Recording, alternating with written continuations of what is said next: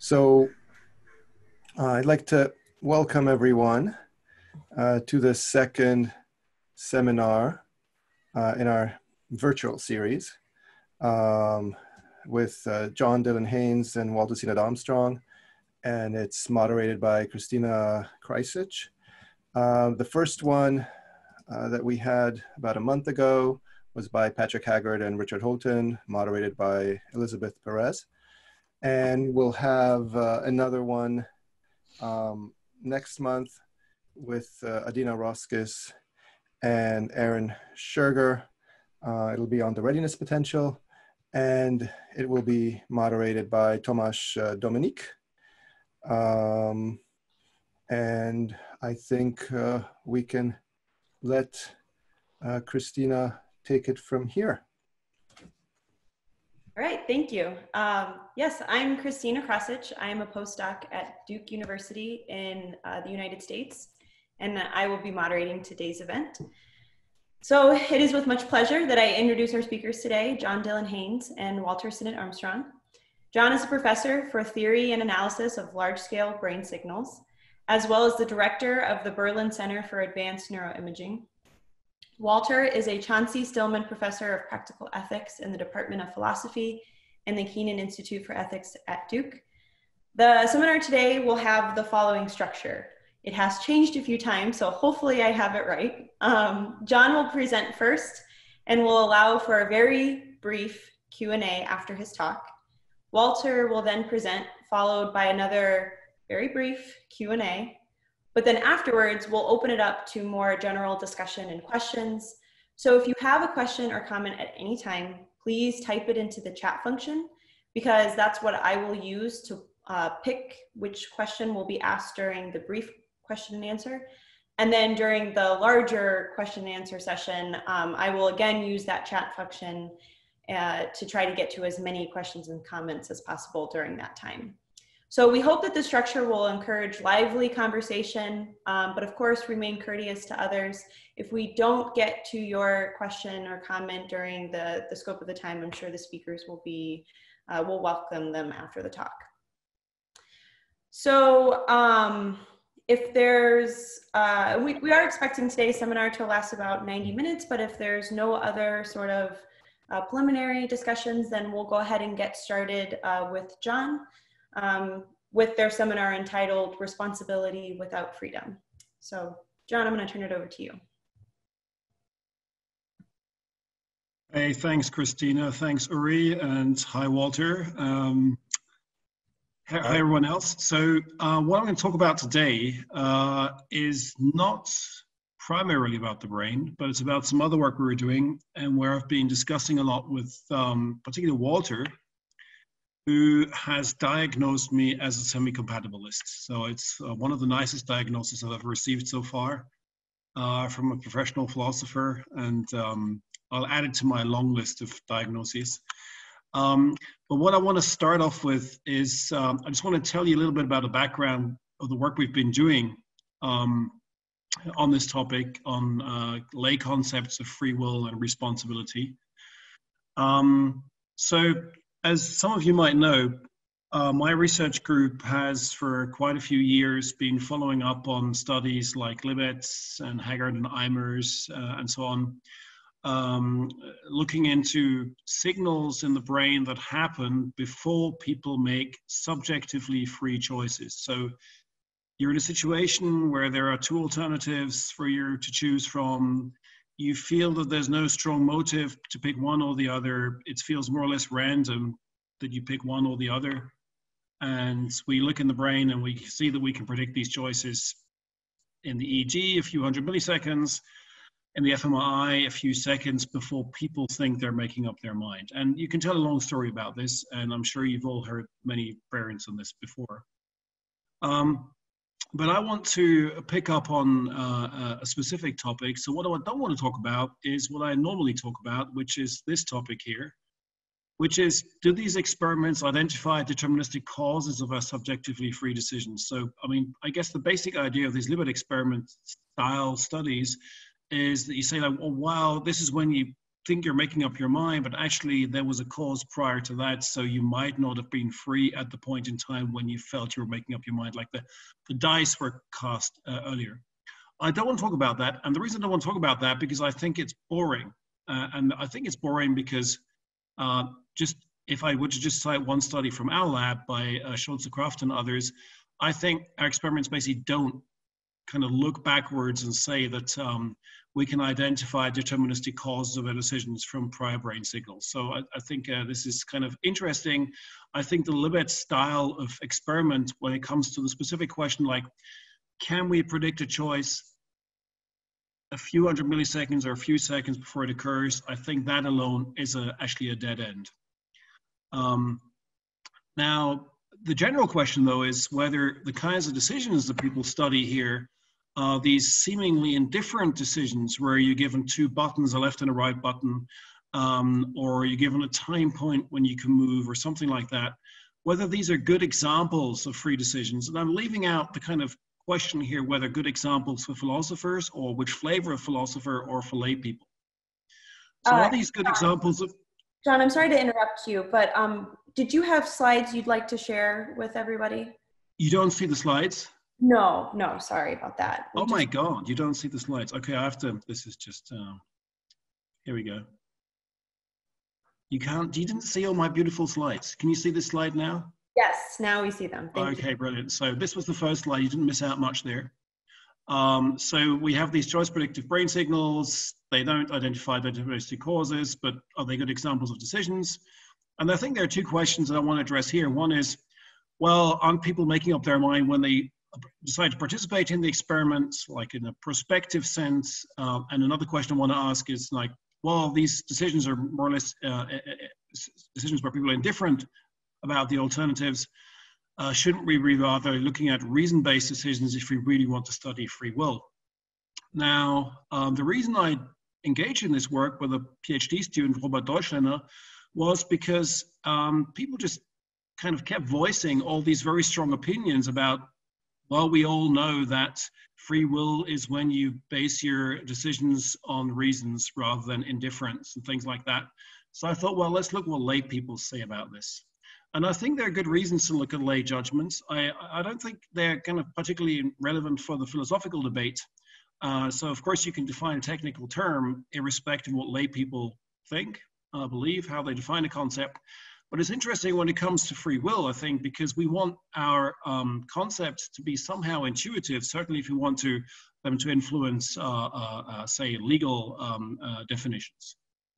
So I'm going to address the key questions. So three main questions. So first of all, do lay people consider uh, action choices and Libet experiments as free?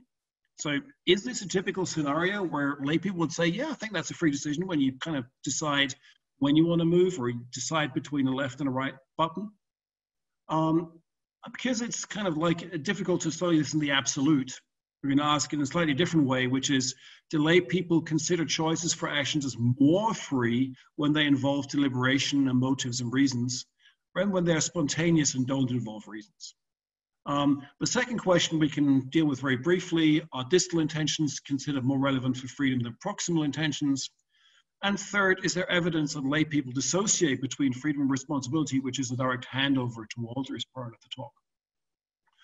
So um, the first study was done with Robert Deutschländer and Michael Pauen, and I'm the philosophical layperson here. Um, so the first study we had three parts. Um, so um, the, we had a couple of factors. So we had the vignettes, and you can of course spend until the end of days discussing whether vignettes are a good way to probe people's intuitions, whether they're complex enough, they're too complex, whatever. Um, but in the first study, 1A, we studied the factors of intentions and awareness. So basically, we gave people descriptions of simple uh, uh, decisions people were making and we manipulated whether people had an intention to perform the action, whether they were indifferent with respect to the action, or whether they had an opposing intention, and whether they'd consciously thought about it or they hadn't consciously thought about it. And we also looked at this for two different intentions just to make sure this wasn't specific to the intention we chose. Just to give you an example. So here's a decision uh, uh, vignette. Susan sits in the kitchen. On the table in front of her, she discovers an unknown book of her roommate. She consciously realizes that she wants to read the book. So there's consciousness and wants to means she kind of has an intention. She opens the book and starts reading. So we can now do variants of this. We can, for example, change the action. Now we have Matthew, he's sitting in front of a glass of water and he grabs a glass and starts drinking the water. So just a different action. And I'm not going to be talking about the actions anymore because everything we found didn't, wasn't really modulated by the action itself. So the second factor is conscious versus unconscious. So when we manipulate the conscious, so from conscious to unconscious, um, Susan's sitting in the kitchen, she discovers an unknown book, but now without anything in mind, she opens the book and starts reading. Only afterwards, she consciously realizes that she wanted to read the book all the time. We could discuss kind of the reality of these um, uh, uh, vignettes uh, separately. But this is the unconscious version. So the point in time when she started the action, she hadn't thought about her intention before. Now, another is when she's indifferent, so she doesn't have an intention, she doesn't want to read the book, but she's indifferent to whether she wants to read the book, but she still reads it anyway. And another one is an opposing intention, where she consciously realizes that she does not want to read the book, but she still reads it anyway which I guess everyone has experienced that before. Um, so these are the results. What you can see here is a slightly busy uh, plot, but what you can see here on the uh, y-axis are the freedom ratings on a Likert scale from one to five. And we have the three different intention conditions, which is they had an intention to perform the action, they were indifferent with respect to the action, they had an opposing intention, so they didn't want to do it. And then we have the two actions, action one and action two. We can basically ignore these, and we add a conscious condition and an unconscious condition. So I'm going to simplify this somewhat by collapsing the conditions. So this is the effect of consciousness. So what you can see here is that the most free case is when you have an intention to do it and you're aware of that intention. But this doesn't seem to quite play such a role when it comes to imposing intention. So that doesn't seem to matter. So this like the really super duper free intention is the conscious plus, consciousness plus intention condition. So second, the question is, what about, um, does it matter if you have an intention versus you don't really care or you don't have an opposing intention? This is quite interesting.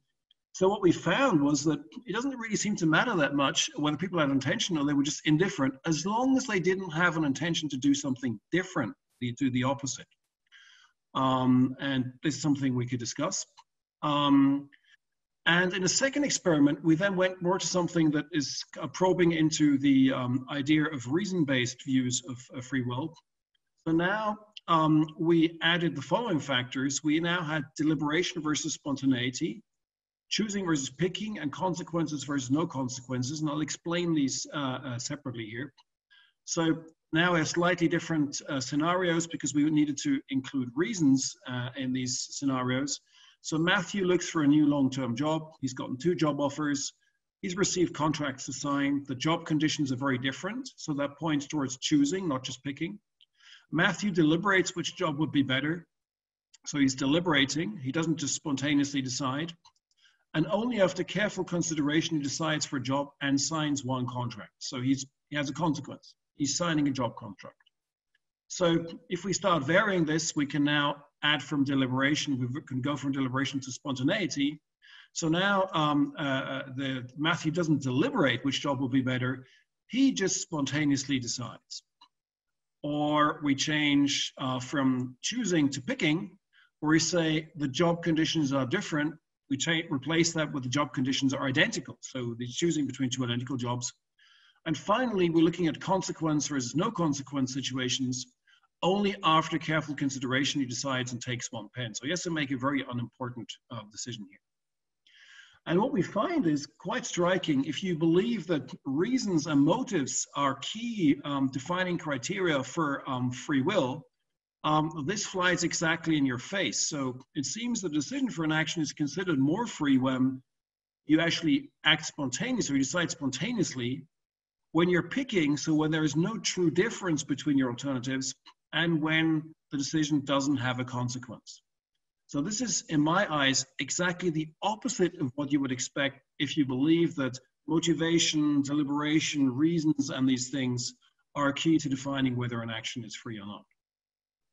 And finally, we looked at the issue of distal versus proximal intentions because of this classic argument that uh, while the decisions in a Libet experiment are not free, but the, the free will occurs when you decide to participate in the experiment or not. So we have these scenarios where we say on Monday, Anne has the intention to go out for brunch with her friends on Saturday. So this is like five days ahead of time.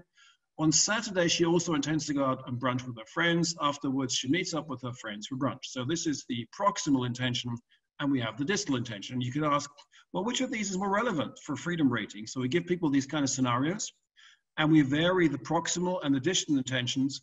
Distal intentions. What you find is the distal intention doesn't make any difference. The only thing that's relevant for the freedom rating is your proximal intention.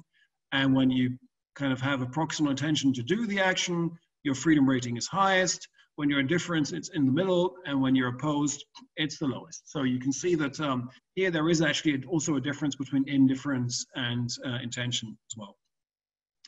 So um, I'd say uh, if we just summarize this, it suggests that the kind of decisions that are made in Libet experiments um, and, or other experiments where people kind of are choosing between seemingly spontaneously choosing between very similar conditions actually capture lay intuitions about freedom quite well. Now, I don't want to, I don't want to kind of um, uh, salvage the, the Libet experiment here, because I think it's a heroic experiment. We've done stuff on this topic as well, but I, I, don't, I don't really think it's relevant anymore for other reasons. But the reason is not because these are not decisions that lay people would consider free. So people have strong freedom intuition. So then we had a visitor here in Berlin, uh, Till Vierkant, and I also got speaking to uh, Walter about this topic. And uh, we were discussing this issue that well, this is all very nice if you ask people about free will, but what if you ask them about responsibility? Um, and Till made this prediction. He said, I think it'll be very different if you ask them about responsibility. So we, with Robert Deutschländer, with a PhD student, and Walter, uh, we went on and we, we just did the study. And what we found was quite interesting. So we repeated the, the previous experiments, and now we've got deliberating versus spontaneity, choosing versus picking, so basically difference versus no difference between the alternatives, and consequence or no consequence. And now we do this in two different conditions. One condition is where people are asked to rate freedom, whether the action is free. And the other is when people are asked to act, judge whether people are responsible for the action. And we did this in two separate groups because we didn't want to prime the freedom ratings by the responsibility ratings and vice versa. So there are two separate groups that were studied here. And what we find is something interesting. That is, let's first look at the interesting case. When you look at spontaneity, freedom and responsibility judgments are comparable. I, I, don't think the absolute scale means very much here. But what you see is an opposing effect if when you go from spontaneous decisions to deliberation. So when you are acting spontaneously and now you start thinking about what you want to do, what happens is that you actually increase responsibility but you decrease freedom. So it seems as if when you're acting spontaneously, you're kind of in the middle, but when you start thinking, it has different effects on freedom and responsibility. So they too seem to be somewhat dissociated. Now, the differences between choosing and picking and having consequence and not consequence didn't modulate this. But if you want to kind of summarize this, you'd end up with something like this. So let's say you're in a situation like in the Libet experiment, uh, these um, freedom of indifference situations where you have two options and you don't really care, you don't have any strong motives to pick one or the other. Then in these kind of situations, people do feel free um, and they have no problem with saying that when you make a decision like this, you are free. I don't think that kind of this is this is that relevant for theoretical arguments, but at least it captures people's lay intuitions and it says that whatever we want to find out about these decisions at this point in time, it might be of interest to lay people to tell them about the way they make their decisions. The second is this kind of scenario. Now, if you're in the uh, reason-based camp of free will, would presumably say, well, now he's got a good reason to pick the right. So uh, this is a situation where he's more free. There is a reason to pick one or the other, or a motive to pick one over the other. Actually, it turns out that lay people don't think that you're free in these kind of situations. They feel that you have to take the money. You can't not take the money. So there's this very interesting situation where people feel almost like compelled or uh, that, that um, a motive or a reason inhibits uh, their freedom rather than giving them freedom. And this is a situation where you could say people are responsible but not free. Now, these are all graded ratings. So you could say, well, they were a little bit free because they didn't uh, rate all the way at the baseline of the scale. So there's some, there's some way out, but it's quite clear that you can dissociate these two factors. So to summarize this, um, in the interest of time, I'm keeping this short.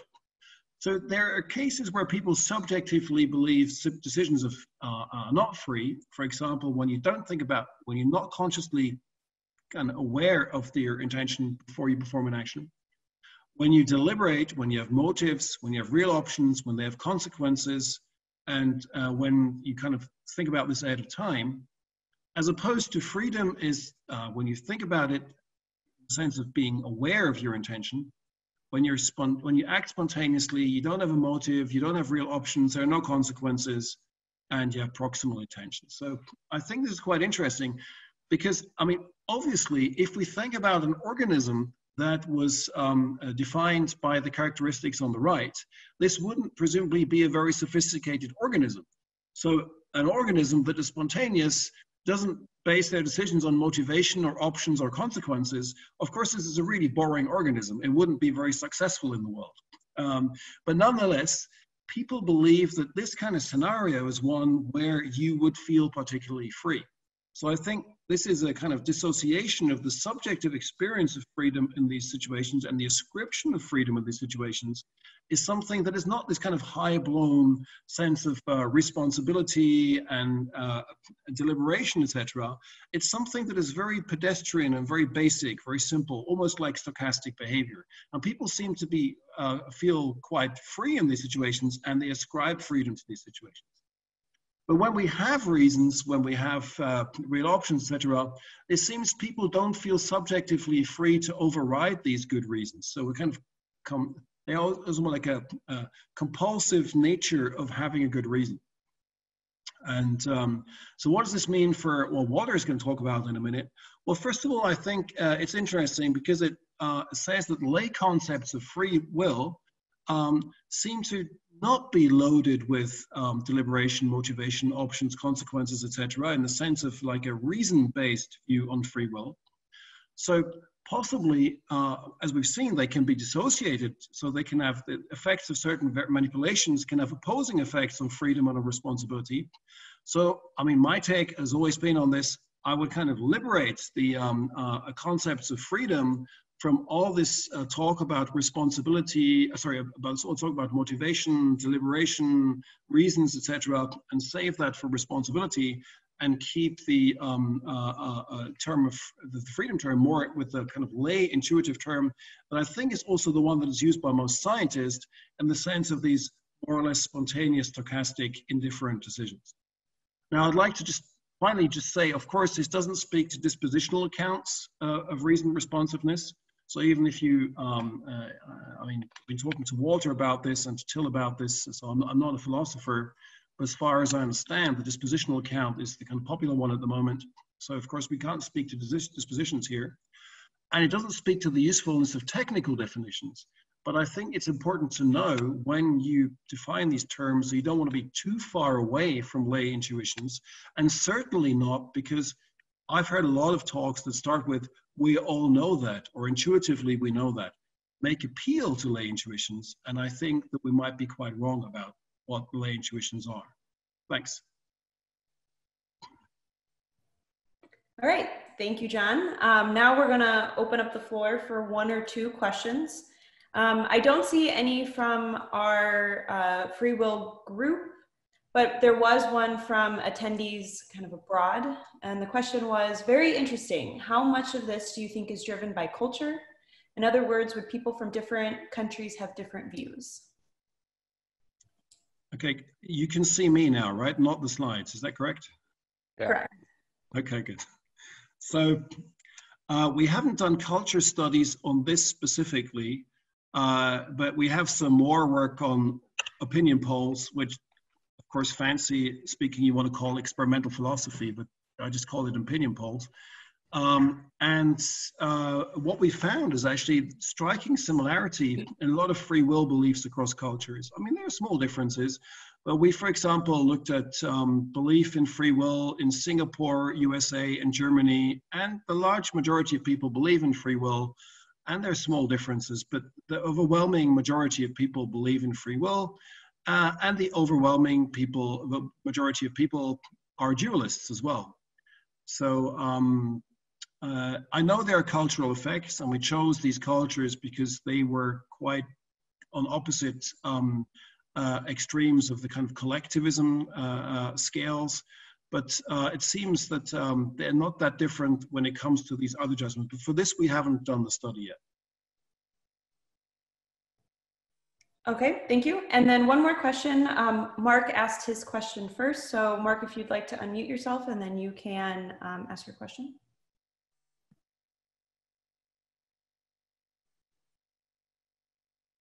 Oh, it looks like perhaps he, okay. oh, there you are. All right, sorry. Um, okay. Uh, so just a couple of things. One is, um, uh, I was thinking that the, deliberation versus spontaneous it seems like there's two different um, two different variables there. One is like whether you deliberate is like whether you think about it in advance um, or just decide as soon as the options are presented. But a second thing is whether at the moment of choice you feel like you've got good reasons for one over the other. And those can come apart. Like you could instantaneously feel like oh a option a is better than option b and do that and that feels reasons based but also you could deliberate for a long time and just still come to like geez i don't know what to do and i have to decide now. So i, I feel like it would be good to separate those two things out. And the second thing is um, i think it's important when you like the the, the things the the cases you gave there were two separate options but the per you know the person's like born about what to do. But in the libet case the two options are like identical. So it's like it's analogous to like going to the store and there's two cans of the exact same tomato soup on the shelf and you just randomly pick one as opposed to two separate different things and you're not sure and you pick. And it seems like the Libet case is this like pure Buridan case where you're just picking between two identical things. And the cases that you were looking at in the study are more like you're not really sure which is better, but they're different things and you might care about so you might care about that kind of decision in a different way. That's it. Yeah, thanks. Um, I realized that this presentation was very quick, and I went over this in quite some speed. So, um, uh, so just as a point, I agree that the temporal aspect and the, I'd say, justification aspect are two different ones.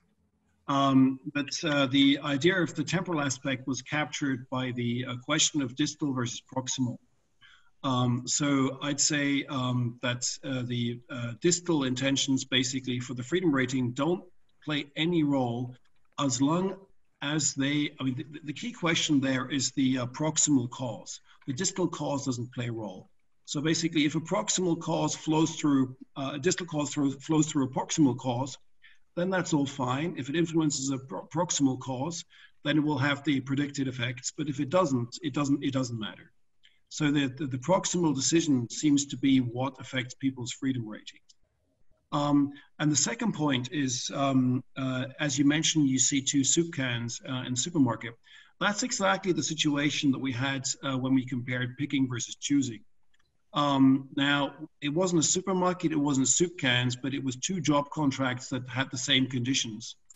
So um, for all purposes um, of our study, um, the uh, subject wasn't informed of any differences between the options. Of course, they can speculate that there might be differences, um, but we didn't have any differences between these conditions, and that's exactly to, to, to, to identify this picking versus choosing manipulation. I think that goes exactly down those lines.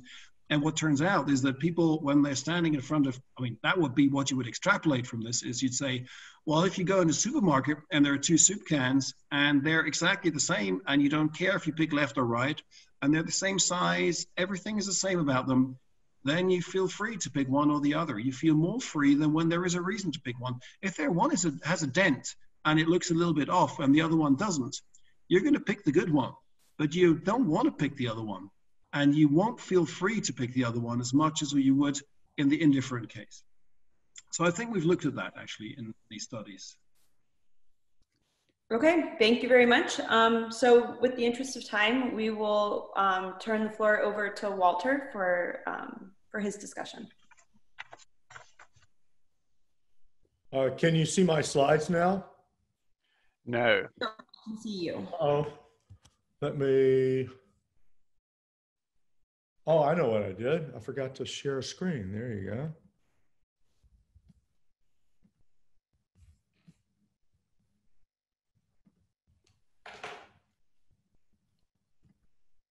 Now? Yep. Cool. Good. So I'm not going to disagree with John very much at all about any of this because he and I are on the same side. It's not really a debate, it's a conversation, it's a discussion. What I'm going to instead do is try to draw out some of the what I take to be the philosophical lessons of some of this work uh, that he's been doing. Uh, and I want to start by just reminding everybody of what the kind of basic challenge uh, really is. Um, I'm going to be talking about the challenge from determinism. There are other challenges, other considerations, uh, bypassing sourcehood, and so on. Uh, but for the sake of simplicity, I'm going to focus on this one. And it starts uh, with, and what I'm going to do is lay out an argument. I'm not endorsing this argument. I'm just saying this is the argument that creates the challenge. Um, starts out with the premise that every act is either determined or random. Uh, the reason you put random in there is there might be probabilistic causes where it doesn't actually determine that it happens, but you have no control over which of the possibilities uh, actually gets uh, instantiated or actualized. Uh, then it's random in that sense. Um, an agent who is whose act is determined um, is not free. Notice we're talking about agents being free, not acts being free. It could be easily reformulated the other way, but you'll see later why we, I want to do it this way. Uh, any agent whose act is uh, random uh, is not free because if they have no control over which of the many possibilities is actualized, there's a probability, but they don't determine that probability. It's some quantum event maybe uh, then they're not free to do one thing or the other. It's just random what happens. Uh, so uh, it follows from one, two, and three that no agent is ever free. Um, so the next premise, an agent who's not free is not responsible. People think responsibility requires freedom, which is the contrapositive of that. Um, we're talking here about responsibility in the sense of accountability or liability to anger or punishment, something like that. We're not talking about attributability or answerability for those philosophers who know those uh, notions. Therefore, no agent is ever responsible. uh, follows again from four and five. Then we should never punish any agent who is not responsible. Now, let me emphasize here we're talking about punishment in the sense of putting someone in prison uh, for an act that they committed or publicly condemning them for an act that they committed, uh, blaming them, something like that. We're not talking about necessarily that it's based on their desert or responsibility. If you if you put somebody in prison uh, for the act that they committed, and you go, but we're not doing it, you know, because you're responsible, because you deserve it. We're just doing it as a kind of quarantine so it's not really punishment. Uh, I take that to be just playing with language. Uh, you're still putting them in prison. Uh, and so um, we don't think you should put people in prison, find them guilty in, in a court, and put them in prison uh, for an act if they weren't responsible for it. For example, if it was a reasonable mistake or somebody forced them to do it, something like that. Therefore, it follows from six and seven, we should never punish any agent. And that includes murderers and rapists. We should not be punishing them in the sense of putting them in prison for what they did. Uh, and so uh, I think almost nobody wants to accept uh, that conclusion. There might be some, you can never say never, but almost nobody wants to accept uh, conclusion eight. The problem is that eight follows from the ones that came before. Uh, and so in order to avoid eight, you got to deny one of the earlier premises. And different theorists deny different premises. Libertarians, uh, who are incompatibilists, that is, they think freedom and determinism are incompatible. We're talking here about freedom, okay? They deny premise one. So they say, no, some acts are neither determined nor random. They're, they're based on the agent or the agent's reasons or something like that. But those are not causes, so it's not determined and it's not random because there's a reason for it. Uh, so they deny premise one. Other theorists are, who are compatibilists in the sense that they think freedom and determinism are compatible, well, they deny premise two because they think you can be determined and yet still free. That's compatible. Uh, and others are hard determinists. They're incompatibilists like the libertarians, but they think determinism is true. Uh, so they can, so they reach conclusion um, uh, four and six, um, but they deny premise seven. They say, well, even though the person's not responsible and they don't deserve it, sometimes you have to put people in prison. Maybe not for the same reasons, but you're still putting them in prison for what they did. So notice different traditional philosophical views have denied premise one, premise three, and premise seven. The, um, some people have, have questioned premise three, but I'm going to focus on premise five. They all seem to take that one for granted. Um, and so it's the semi-compatibilists, which I think John is one, uh, but many other people as well. Um, semi-compatibilists are the ones that question that. So there are two versions of semi-compatibilism, a strong and a weak version. The strong version actually accepts premises one, two, three, and the conclusion four. So they agree that no agent's ever free, but they say they're responsible anyway. John Fischer in the upper right there is more subtle uh, or I don't know. He doesn't he doesn't come out in favor of that conclusion. He says, I don't know. I'm going to rem- remain agnostic about that, but I am going to deny premise five. So I'm going to say even if that's true, it's not going to yield the conclusion that no agent is ever responsible. So the semi-compatibilist view I'm going to take to be the strong version. That's what I'm going to talk about, where you say the agents are not free uh, but they still are responsible. To make that coherent, you have to deny premise five, which says that any agent who is not free is not responsible, or the contrapositive responsibility requires freedom. You can't be responsible without being free. Any of those formulations is going to be equivalent. The question is, why deny premise five? You can't just go, oh, I'm going to give that one up. You got to say something about why. Okay, so we're going to look at arguments against it. Well, I, I, guess I should add here, you know, a lot of people just say, well, it's obvious, you know, and they don't give any argument for it. Uh, look, you know, it, it might be obvious to some people, uh, but it's not obvious, uh, but we'll see whether it's obvious to everyone. I just want to say there are not a lot of arguments in the literature that I know of. In the answer, question and answer thing uh, session, correct me if I'm wrong, but I don't know of any really strong arguments for premise five. People just kind of take it for granted. Um, and when you think about the notions that are involved, I think there's reason to be kind of dubious about it. Uh, freedom, I take it, uh, and this comes from uh, Mike Gazzaniga, but also I think it's implicit in some of Strawson's uh, discussion in Freedom and Resentment. Freedom is a metaphysical notion, maybe it's a scientific notion, but it's not normative the way responsibility is. To say that someone's responsible is to say they are liable to punishment or rebuke uh, or anger. Uh, and so that's a normative question about what they're liable to, what it would, what people ought, how the people ought not to respond to them, how they ought to respond to them. Very different from the metaphysical. So it'd be kind of surprising if they had the strong relationship that's claimed uh, in premise five. Uh, I want to point out also that freedom is intrapersonal in the sense that whether you're free depends on what's going on in your head uh, when you act. Uh, it does depend on other people, but only insofar as those other people are affecting what's going on in your head. Whereas responsibility is, in some cases, interpersonal. Uh, whether you're negligent or not is often dependent on what other people around you are doing, which shows what's reasonable for you to do or to assume. So when you think about the two notions, I think premise five would be kind of surprising. That doesn't show it's false, but it shows it's surprising.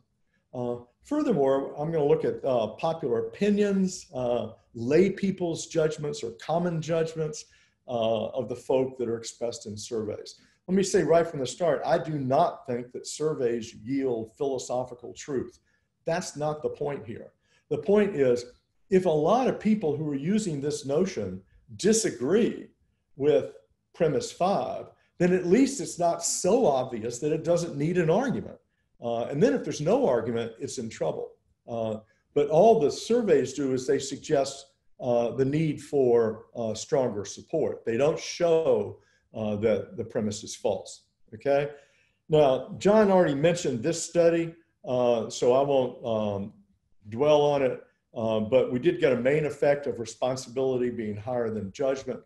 But as he said, that's just meaningless because there are different scales. Uh, it was different groups of people. It was a between subjects experiment. So what we need, and also it was a, a fairly limited uh, sample of different groups, um, the, you know, as brought out by the culture question. So I'm going to focus instead on a much larger survey. It was actually 5,000 people spanning 20 countries and 16 languages and asked uh, people questions not only about freedom, but about responsibility, or at least blameworthiness and punishment. They're surrogates for responsibility. Um, in, uh, in this survey. Just came out last year. Uh, and what they, I'm going to come back to the other scenario, but in one of their scenarios, the run like this. Imagine a universe in which everything that happens is completely brought about by whatever happened before it. Uh, and then they expand on that to make sure that people understand. So if everything was exactly the same, John would have made his decision. What was it to eat vegetable soup at lunch? It had to happen. And then they add, uh, following um, Nichols and Knobe, in this universe, a man named Bill had become attracted to his secretary, and he decides that the only way to be with her is to kill his wife and three children. Before he leaves on a business trip, he sets up a bomb that destroys his house and kills his family while he's away. Uh, so that's the scenario they're asked, and they're asked these four questions in the lower left. Did he do it freely? How much control did he have? How blameworthy? Uh, how much punishment uh, did he deserve? Okay. Uh, here are the results. I've circled the relevant ones for our purposes.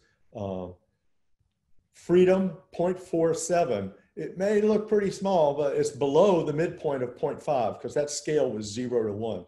I hate the fact that they did the first one zero to one and the others one to seven, but but anyway, that's what they did.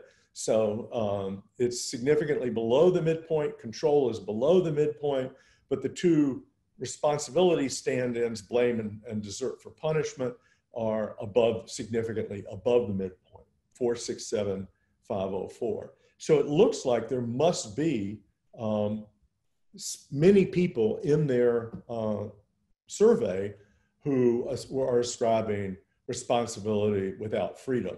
Not all, of course. It's not uniform. It's just slightly below the midpoint, but still it's well below the others. So there must have been a significant group there that's willing to say they're responsible but not free. Okay.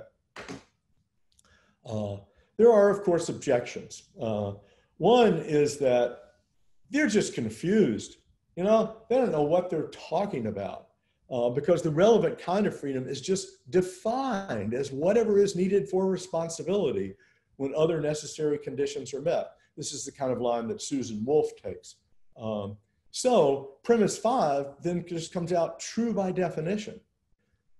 Well, philosophers can define their terms any way they want. Uh, the point of the surveys is that that's not what ordinary folk mean by freedom. So if you want to talk with them and not misunderstand each other, uh, you might not want to use that definition of freedom because that doesn't seem to be what they're talking about.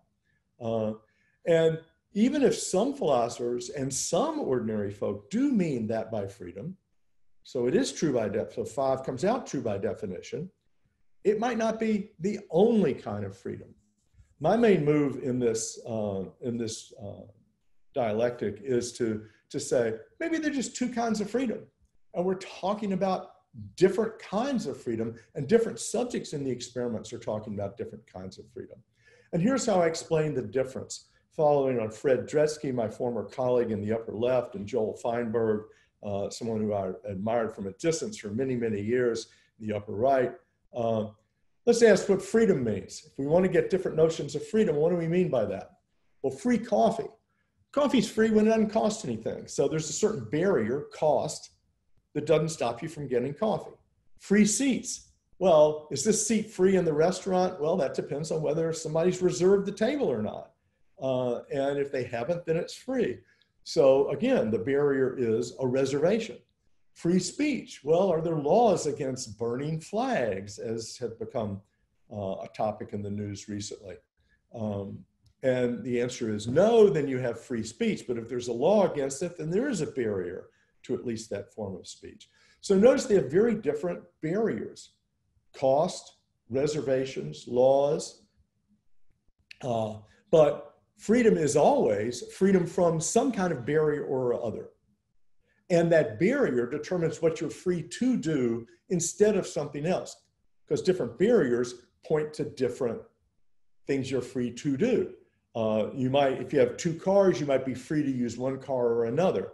If you um, if you are in prison, uh, you don't have freedom to leave your cell, but you do have freedom to walk around in your cell.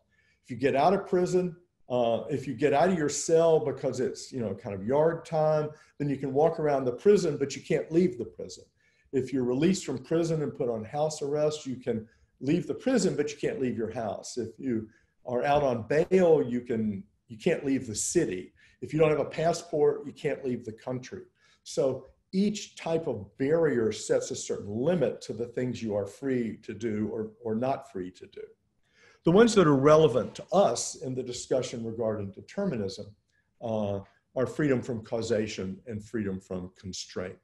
I'm going to sometimes talk about causation, others determination.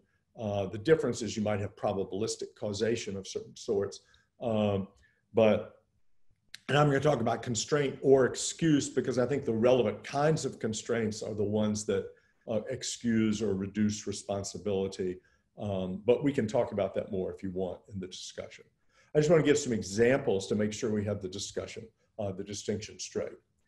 There's some acts that are both caused and also constrained, uh, such as if somebody trips you when you're playing basketball in the upper right, uh, then you lose the ball. Well, you're not, you didn't freely, you know, give the ball to the other team. You're not responsible for giving the ball to the other team because you were caused by the tripping and you were constrained in the sense that you didn't get what you wanted, which was to dribble down the court and score for your team. Uh, phobias like the spider in the in the right, you know, you, someone might not be free to get the spiders out of the garage because they're too scared to go in there with all those spiders.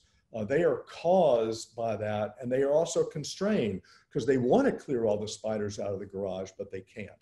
Uh, and the same for mistakes. I might, you know, I might want to, um, I don't know, to serve a meal that my guest will like, and I know that they're allergic to peanuts, but I don't know there's peanuts in the salad dressing that I give them. Uh, then I am constrained by my ignorance uh, because I can't do what I want to do. Um, but there are other acts that are caused but not constrained. Uh, suppose that I uh, am the best man at your wedding and I'm supposed to bring the ring, but an hour before the wedding, I notice that my favorite basketball team is playing, uh, or I just decide I want to go for a walk. Uh, and I just blow off the promise and blow off the wedding. Why? Because I'd rather watch the basketball game or go for the walk. Uh, well, my act is caused. It's caused by my desire to go for a walk and also by my lack of concern for you. But it's not constrained in any relevant sense that would provide any excuse whatsoever. It's still my fault that I don't bring the ring to the wedding and, just, and, and ruin the wedding for you. Uh, I just added this for completeness. There also might be acts that are neither caused nor constrained or constrained but not caused. But the ones that are important for our distinction are the ones up above, the ones that are caused but not constrained. Those are the ones that are going to be relevant. So the point is once you get this distinction between freedom from causation and freedom from excuse, um, then you see an equivocation in the original argument that created the challenge. Remember the premises. Premise two was an agent whose acts is determined is not free. And premise five was any agent who's not free is not responsible. They both use the term freedom, so we got to ask, what kind of freedom? What kind of freedom are we talking about here? Well, if we're talking about freedom from causation, then premise two is true because if it's determined, it, it is caused, so it's not free from causation. But it's not at all obvious. I think it's false uh, that an agent who's not free is responsible because, as the wedding example showed, you know, you can be caused and therefore not free from causation. You can be caused to go for a walk instead of the wedding, but you're still responsible because the kind of cause that made you do it does not remove your responsibility. It's no excuse. Freedom from constraint, however, in contrast, makes true premise five. If you are not free from constraint, then you are constrained and then you're not responsible. It's not your fault if somebody tripped you, right? But premise two is now the one that's, that's no good because any act, agent whose act is determined is not free from constraint. Well, that's the wedding example shows that's false, right? If you're going along with me on that example. So um, it looks like there's no single notion of freedom that makes both premises true, and that's the sign of an equivocation. So determinism excludes freedom from causation, but it does not exclude freedom from constraint, and hence it does not exclude uh, responsibility. Uh, this position I call contrastive semi-semi incompatibilism, which is a horrible name. Uh, and so I'm thinking of calling it instead the appeasement view, because the idea is it tries to give a little bit to both sides, or as Hannah Montana and Miley Cyrus would say, it gets you the best of both worlds. Uh, that was their tour name. So, uh, I'm not a fan, by the way. I just thought it was a cool poster. Uh, contrastivists agree with incompatibilists about freedom from causation. And they also agree with compatibilists about freedom from constraint because they think that freedom from causation is incompatible with determinism, but freedom from constraint is compatible with determinism. But they disagree with incompatibilists about freedom from constraint, and they disagree with compatibilists about freedom from causation because they think that freedom from constraint is compatible with determinism and freedom from causation is not. So they're uh, giving part to each side is what they're doing. And what about premise five? Well, they agree that premise five is true if it's about freedom from constraint, but not if it's about freedom from causation. So the point is, a lot of the previous discussion has been confusing these two kinds of freedom, and therefore the conversation has been confused. Now, that is obviously a, a complex philosophical view. Uh, let's look at what the folk mean. How do we know what the folk mean by free? Well, let's go back to our survey. This time it's a kind of Harry Frankfurt type um, uh, example where there's a counterfactual intervener. Uh, same survey, 5,000 people, 20 countries, 16 languages, and so on. Uh, you're projecting into the future, um, but in your own world. And the mad scientists have a sophisticated device that monitors what's going on in somebody's mind and can change what they think and choose and do uh, at the last second if they if they can predict that the person's not going to uh, make the decision they want. Uh, and what they want is for Martin to kill Adam. So they monitor Martin, and if he even starts to decide not to kill Adam, then they're going to intervene and make sure he does kill Adam. But in fact, Martin decides all on his own to kill Adam and ends up killing Adam, and the scientists don't have to interfere at all. Now, notice in this scenario, Martin is not free to do otherwise because if he starts to, to do something of, to do otherwise, they, they will intervene and he will do that. So it looks like he does not have the ability uh, to do otherwise. That's going to be controversial. We can talk about it, but on that interpretation, then it might be surprising that they actually found that people said, oh, yeah, Martin's free. Oh, yeah, Martin's in control. So 0.83 out of, you know, on a zero to one scale and five on a zero to seven, or sorry, on a one to seven scale, both significantly above the, the midline. It looks like they're ascribing freedom when he can't do otherwise. Now, I remember find that pretty surprising, and I think a lot of people might find it surprising, but we got to figure out what they mean by this, okay? Now we're going to go back to con- the contrasts and contrastivism, my favorite ism. Uh, some scenarios ask just this abstract question, like Roskies and Nichols and a bunch of uh, Nahmias and, uh, studies. In a determined universe, is anyone free? Okay. Others ask concrete questions. In a determined universe, is this murderer, Bill in the first scenario, Martin in the counterfactual intervener scenario, is this particular murderer free? Now notice, you, you know, folk tend to answer yes, uh, I'm sorry, no to the abstract question more often than to the concrete question. It would be a better way to put that. And there are lots of explanations, emotion, uh, and concreteness, intrusion of power beliefs. But I'm going to, this is a complementary uh, explanation that I think explains some of the variants, but I'm, it doesn't replace those others. Okay.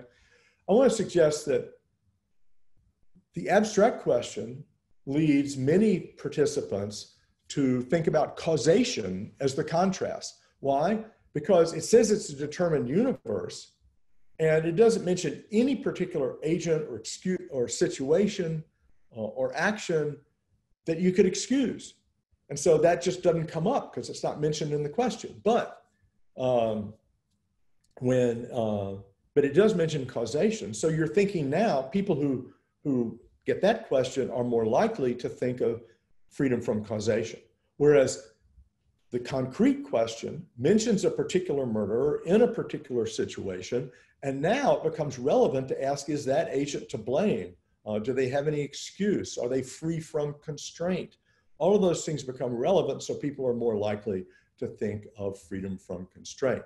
Uh, and if the folk, um, and then the folk, you know, they're not all going to do it the same way.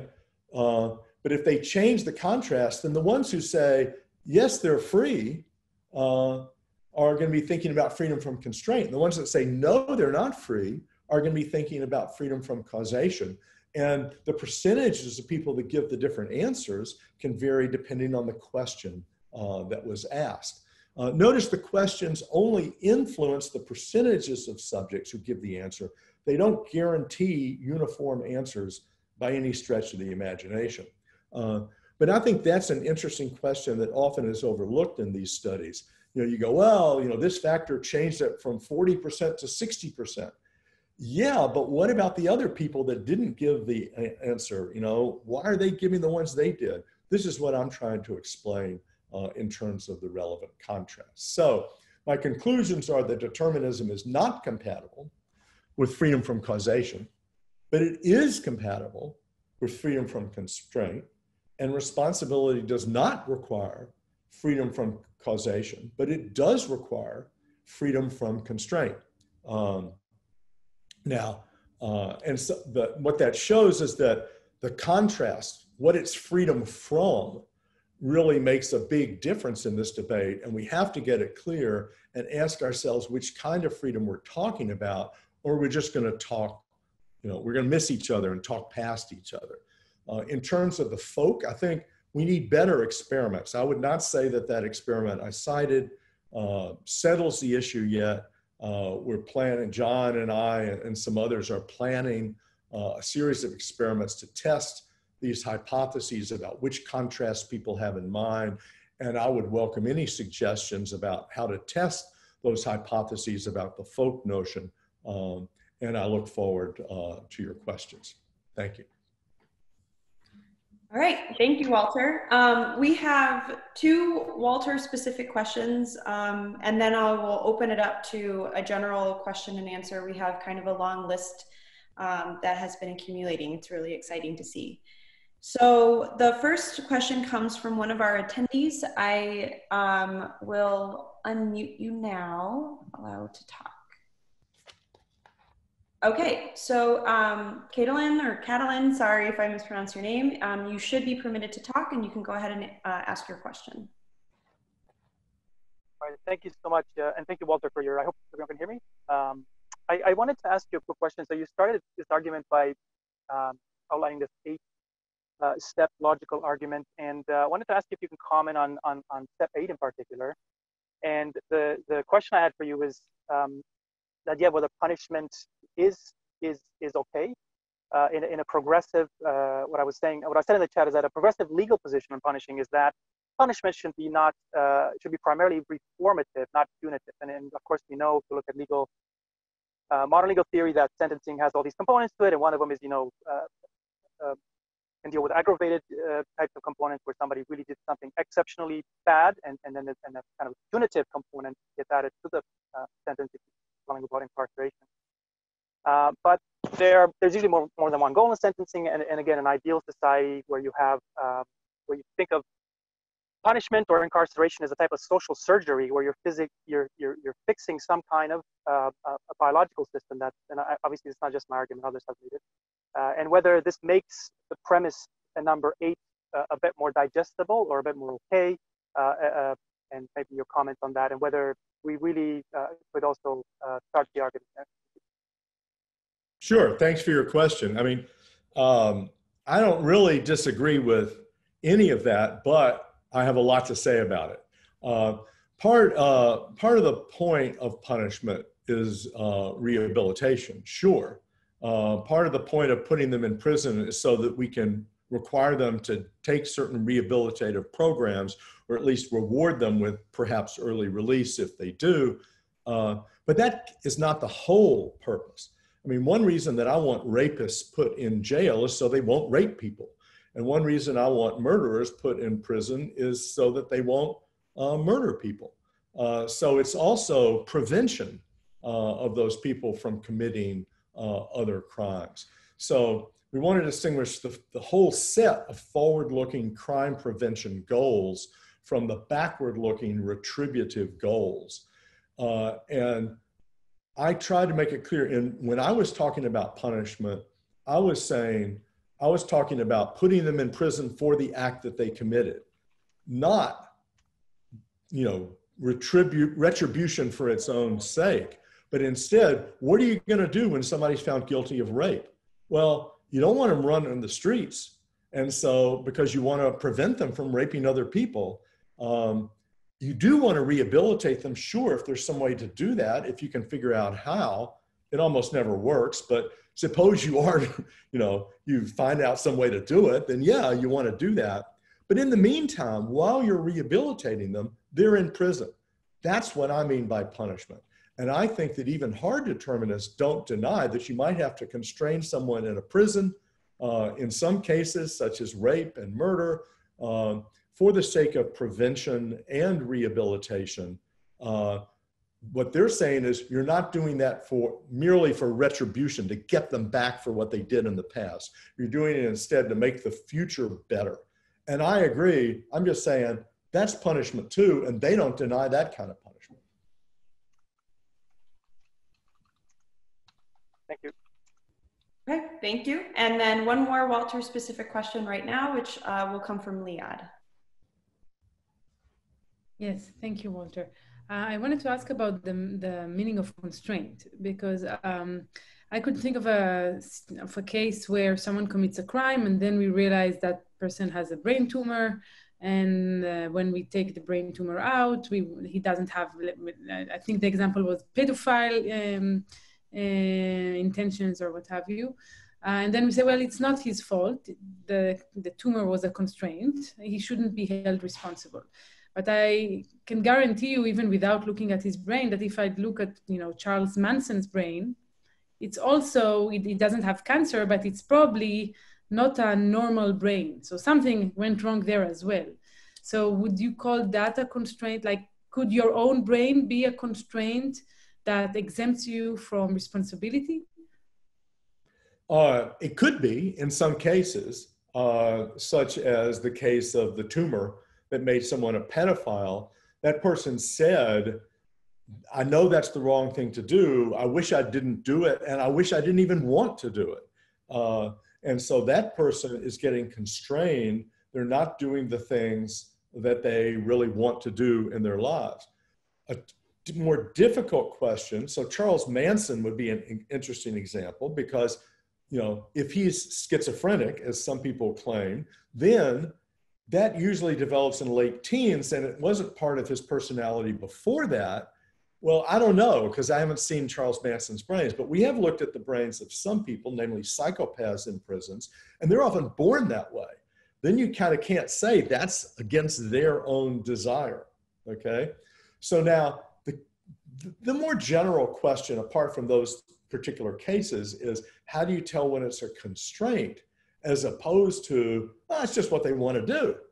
Exactly. Uh, and there are a number of different philosophical theories about that. And I'd rather, at this point at least, maintain remain neutral. Some people think, well, it's a constraint when it does not mesh with your deep self in the right way. Other people says, you know, well, it's going to be a constraint when it's not reasons responsive. Uh, so it keeps you from doing what you, you know, recognize are the reasons to act a certain way.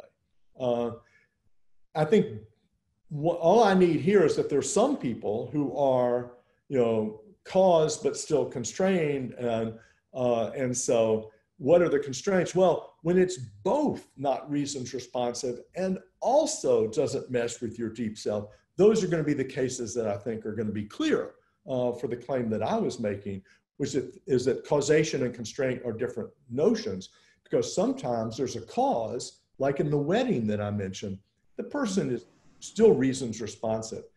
Yes, that desire comes from their deep self. They don't care about their friend, they want to go for a walk. It's all meshing perfectly well, and they're endorsing that. Then there are going to be clear cases, although there's a lot of disagreement about exactly how to draw the line uh, in the middle. Thank you. Okay, so thank you. Um, now we're going to be starting the general question and answer session. I um, will hopefully get to as many questions as possible. And the first uh, question comes from one of our attendees, Eddy. Thank you for your patience. Um, I have now allowed you to talk. Hi, Eddy. Hey, I don't get, I'm, I'm going to assume you can hear me unless someone tells me otherwise. Uh, we can is, hear you.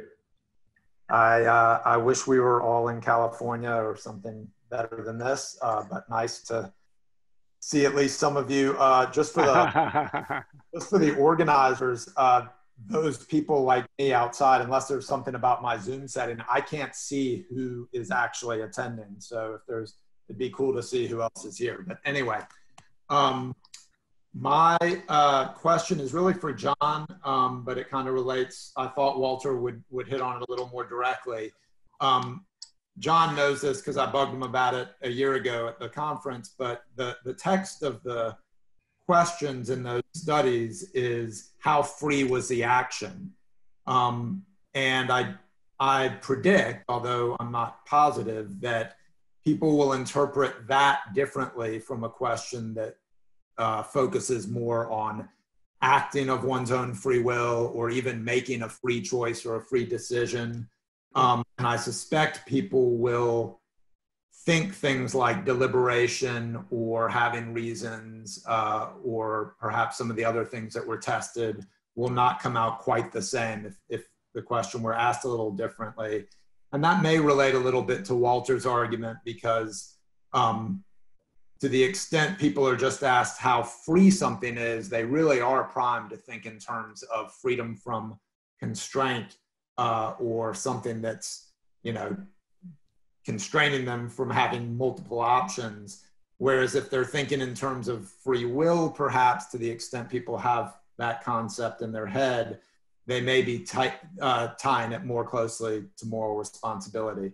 And uh, Walter and others, if I'll just end by saying if you haven't seen the new monist uh, with the paper by David Lewis uh, or the abstract or the outline by David Lewis and then commentary by Beebe and others, um, it's it's right up your alley because he's trying to give a compatibilist analysis of ability in terms of uh, freedom from constraint. thanks. Good to see everybody, kind of. Yeah, so uh, the answer to that question is very easy. Um, I experienced the following. When we did these studies on uh, freedom ratings, uh, as you just mentioned about for the actions described in the vignettes, uh, I spoke to a lot of compatibilist philosophers ahead of time, and many of them said, yeah, yeah, people are going to rate these uh, deliberative um, decisions uh, where you have reasons, um, um, uh, different alternatives, etc. They're going to rate them as more free than the others. Um, and they were quite surprised that actually quite the opposite came out. Um, and that lay people seem to judge these limit type of kind of more or less indifferent decisions as very free. So um, I think our intuition can fail us uh, when it comes to how people judge freedom. And I think there's almost like a sense that the more time we professionally spend with these topics, the more we confuse our theories with the actual true state of affairs of what lay people believe. So um, I'd say uh, we just need to do more studies and um, I'd think of uh, this research field as a shopping center or shopping mall. And I'd say the studies, we've cleaned two, two rooms in that shopping mall, and you could still debate about what's going on there, but there are many other spaces to clean up. Um, and I think that just needs to be done. I, I find it very difficult um, to predict what the outcome and these kind of lay ratings is going to be. Um, so I think we just have to do the work. And Walter just mentioned another study, and you've done many studies uh, on related topics. I just think we just have to do do do the studies. For example, I would have never thought that um, my current belief is that the reason people um, uh, believe in free will is not because they're compatibilists, because they're just absolutely severe, massive, unteachable dualists and uh, we keep talking about compatibilism, but I think actually it doesn't. It's got not compatibilism is, is, is on the wrong topic. It's about why would you think that free will is compatible with determinism? Well, lay people think determinism holds in the real world. That's all fine, but I've got my mind. There's something separate, and it has its own laws.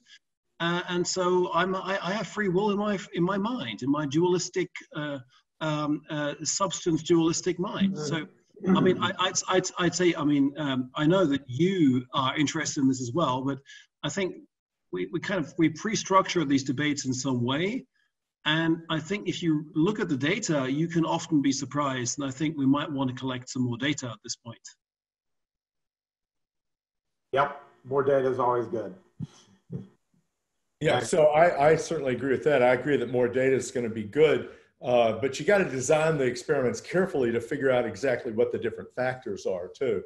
Uh, um, only, only thing I wanted to say in response to Eddy's is I totally agree that whether you ask, is the agent free? Um, is the act free? Is the will free uh, in a variety of circumstances? Which question you're asking can affect the percentages of people who give the answer.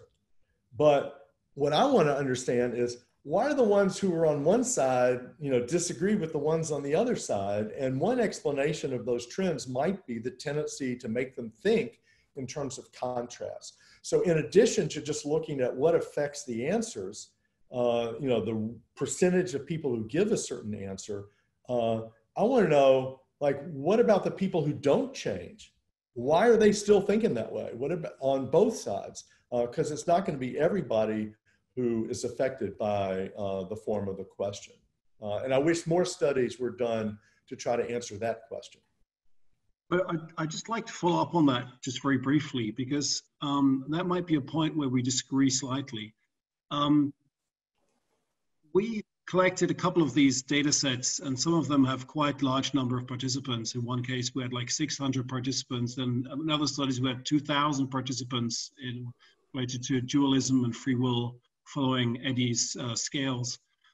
And we then thought we're going to look at kind of typologies within these rating spaces. And it's funny enough, it's a continuum. It's just like a big lump of data where some, I mean, some people are a little bit more in one direction, some people are a little bit more in another direction. It's very hard to discretize this. And um, when you say, I mean, that's why I earlier on mentioned this little caveat. It depends on where you say, is freedom necessary for responsibility? It depends on where you put up your cutoff on that scale. I, I think it, I mean, if you want to translate this into philosophical positions, you have to discretize a continuous distribution, which is not that, not that easy. Yeah.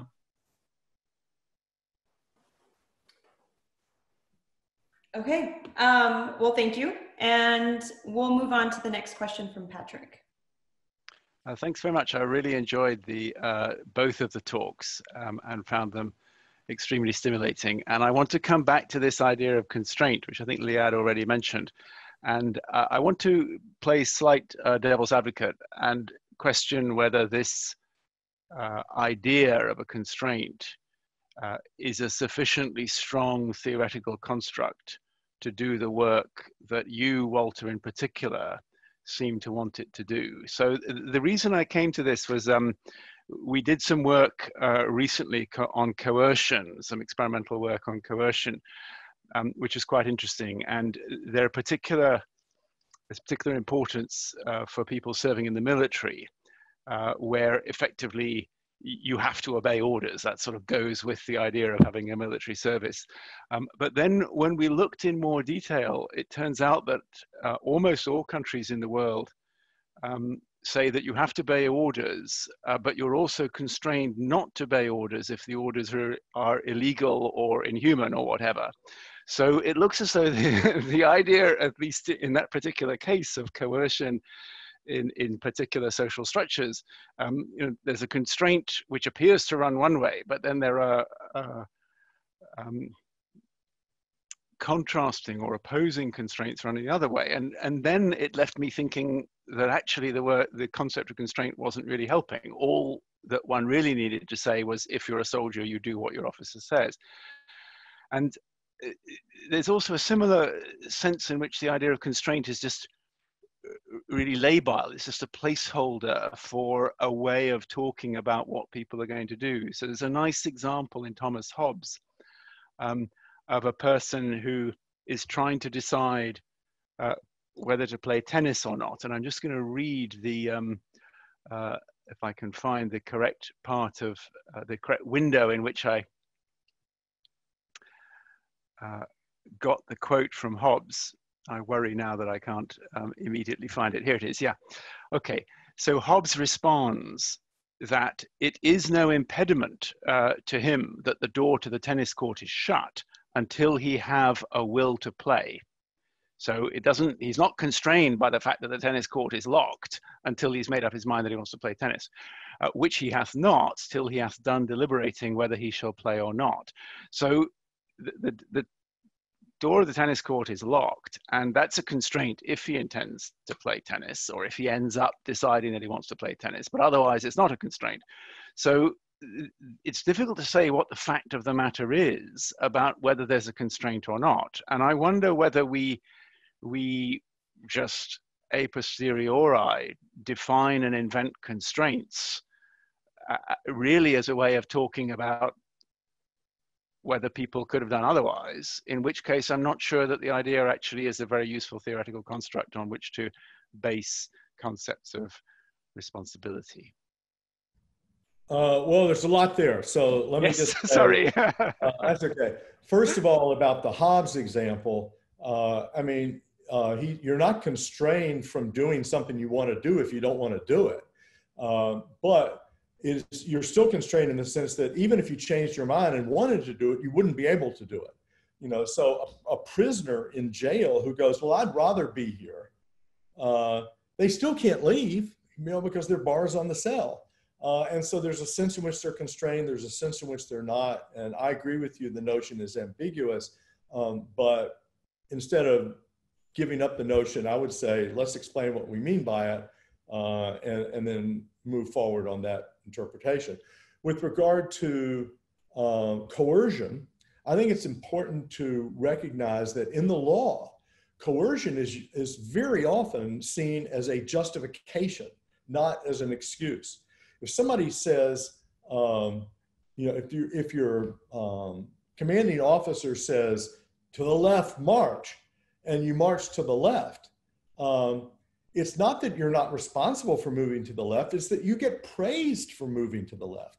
It's not that you know you had no say over it. It's not like there was a tumor that was making you go that way. You had a good reason to go left, namely, your commanding officer told you to.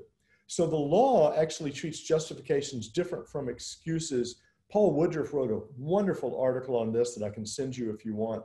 Uh, but there, I think coercion is a. a I, I love your work on coercion, but it's not clear that uh, you know in what way that fits into the constraint framework. So what I want to say, the way I want to use the word constraint is that sometimes the causes of our action reduce responsibility or provide a partial excuse. And sometimes they don't. That was the point of the wedding example. That the mere fact that I want to go for a walk instead of bringing the ring to your wedding, uh, that causes me to go for a walk.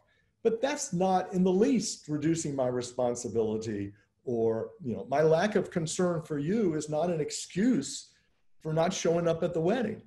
Uh, but it might cause me to not show up at the wedding. So I would say a constraint, you know, one way to count it as a constraint is a constraint is, you know, a cause that does not reduce responsibility or provide even a partial excuse. I'm sorry, a constraint is a cause that does reduce responsibility or provide a partial excuse. Lack of constraint when the cause of your action, because I think there's always a cause, but when the cause of your action is not a constraint in that sense. Now, that leaves open a lot of vagueness about what exactly counts as, you know, you know, as reducing responsibility and providing an excuse and all that.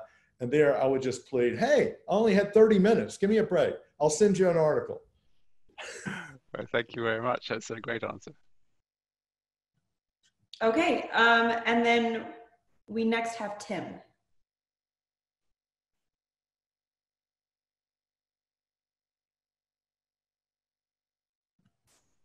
Uh, Tim, are you there? Hello, sorry, can you hear me now? Yes.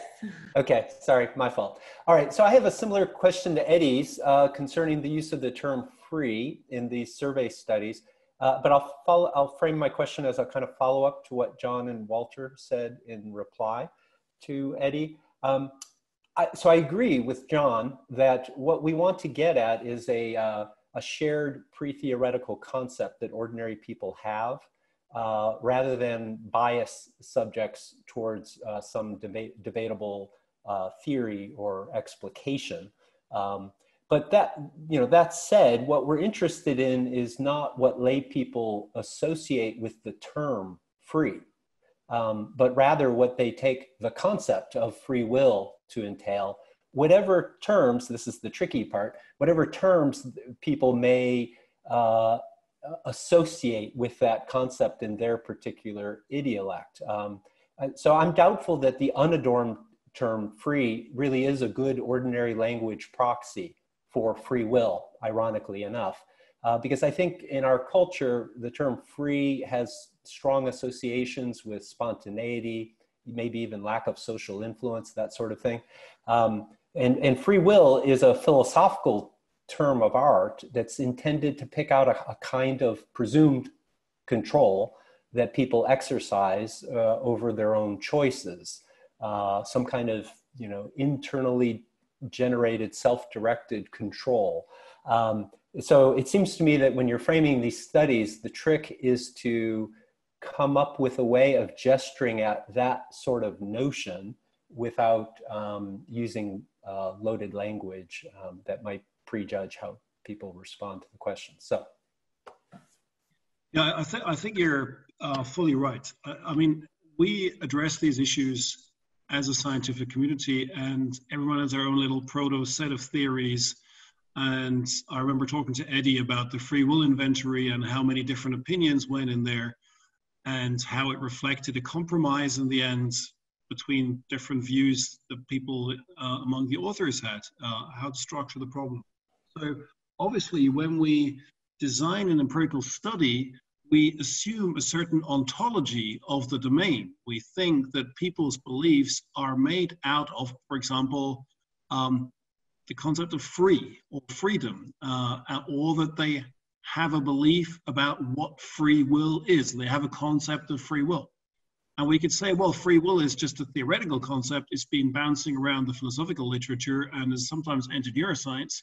So it doesn't, it doesn't really play a role for lay people, and we should just leave it out of uh, debates uh, with lay people and public engagement, I'd say, or discussion about changes in our legal system. We should, as soon as it touches lay people, we should just leave that term out my experience is quite different. I'd say people have, uh, um, like with free energy, uh, uh, people have strong beliefs about what free will is, and it's it's a little bit.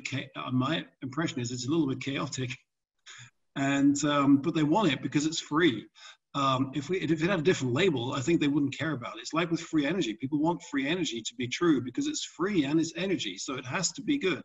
Um, so I, I think I, I, don't think lay people have that much of a detailed, elaborate concept of free will. Um, so right brings us to the question of the ontology. What are the beliefs of these lay people made out of? What kind of concepts are they made out of? And how can we measure this in an unbiased way? I, I don't really see, I don't have a good idea for doing that. I'll be very honest. I think it would have to be data driven. Uh, it's something that's more likely to come out of the text database of Google uh, than to come out of any studies either of us is going to design because we have all these prior assumptions about the structure of these belief systems. So I want to agree with that, but I want to say, you know, there could, I'm, the, I'm meant to be suggesting a structure for at least one factor that is going to affect, you know, these consequences that I agree. There's not a single well-defined concept of freedom that most lay people have in mind, unless it's a very abstract structure like, you know, freedom from the relevant barriers or something like that, which doesn't help you much because uh, you need to know what the barriers are. Uh, but the idea is that there's one concept that they're all thinking of, uh, I think is a mistaken assumption. That instead, sometimes they're thinking of freedom from constraint or excuse or whatever you want to call it. And sometimes they're thinking of freedom from causation, but there's not one concept that they are thinking of. Uh, some of them are thinking one, some are thinking the other, and some of them vary depending on what the question was. Uh, so I think that's going to be a more fruitful way of, of designing studies and understanding the data than to engage in a search for the folk concept of freedom. Can, can I just add something here? Um, I think it's important to always remember why we are interested in this kind of a question. What is it that triggers this interest and this debate in the first place? And you can think of this as like a whatever, uh, you can have a theological debate about free will, uh, a philosophical debate about free will. Uh, you can look at free will from a neuroscientific perspective. But I think when you look at the neuroscientific challenges to free will, I think a lot of this is because people are interested in saying, wow, this is the way we think we make decisions, but actually we make our decisions in a very different way than we think we make them. And I think that is at the heart of this whole topic.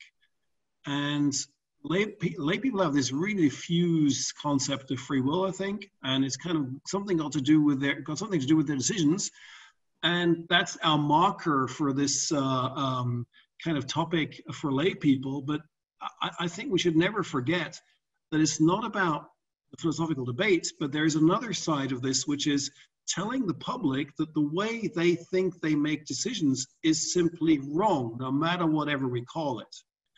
I think that's where you often have these phenomena like neuroscientists going to the media saying we have no free will, we don't make our decisions based on conscious deliberation or whatever. And then you kind of have like a scientific, uh, philosophical debate around that.